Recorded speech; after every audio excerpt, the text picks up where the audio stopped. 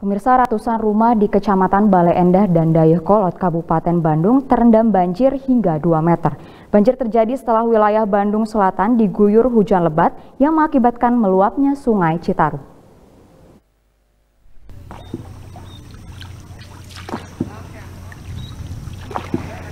Selasa pagi ratusan rumah warga di Kecamatan Balendah dan Dayakolot, Kabupaten Bandung, Provinsi Jawa Barat terendam banjir dengan ketinggian air hingga mencapai 2 meter.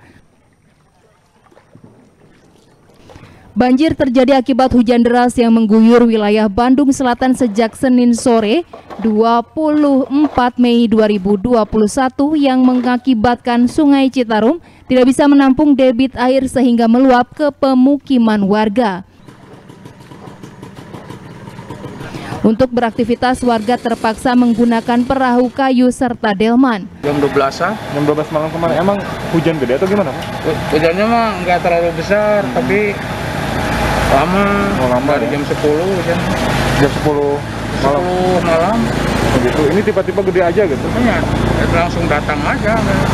Berarti Bapak gak sempat nyelamatin harta benda di rumah? Nah, kalau barang-barang oh, udah kerendam. Oh, kerendam ya. Menurut warga terdampak banjir, Agustini, kolam retensi yang dibangun pemerintah belum cukup untuk mengatasi permasalahan banjir karena banjir kerap kali datang ketika hujan mengguyur wilayah Bandung Selatan. Eh, sekitar jam 10 lah.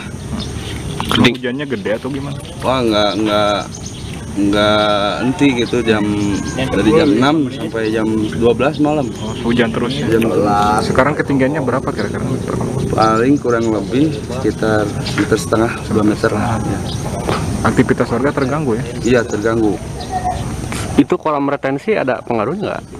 Belum ada terasa, belum terasa nggak belum ya nggak ada terasa buat Warga. warga, gitu. Ken- Kenapa gitu? Gak terasanya kenapa? Karena banjir selalu terjadi atau gimana? Iya selalu terjadi banjir kan hujan dikit banjir. Selain merendam rumah warga, banjir pun merendam jalur utama penghubung antara Kabupaten Bandung dan Kota Bandung dengan ketinggian air mencapai 50 cm. Akibatnya arus lalu lintas menjadi terganggu. Rezi Tia Prasaja, Bandung TV.